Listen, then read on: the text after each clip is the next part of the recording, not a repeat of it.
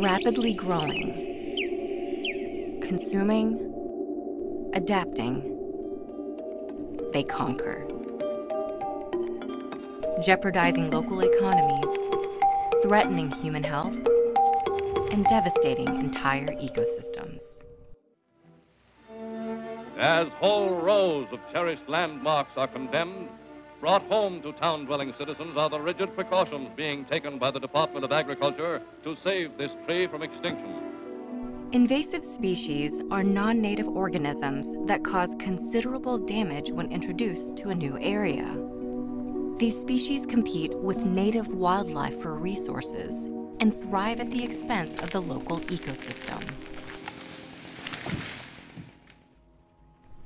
The introduction of invasive species is often associated with human activity.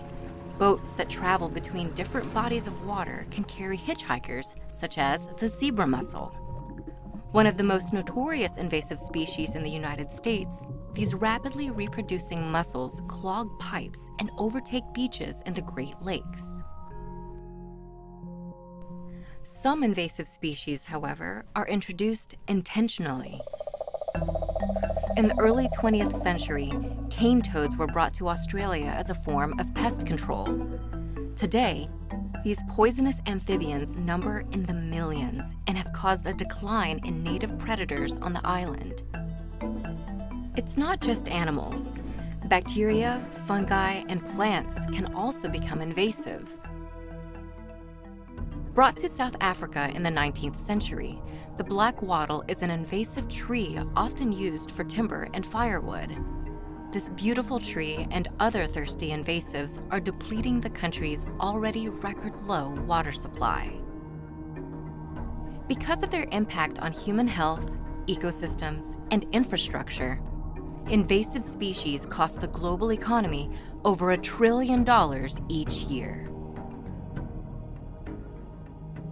Many measures can be taken to help limit the spread of invasive species, but the most effective method is prevention. By carefully cleaning boats before transferring between different bodies of water, not releasing exotic pets into the wild, and planting gardens with native species, we can help prevent the spread of invasive organisms.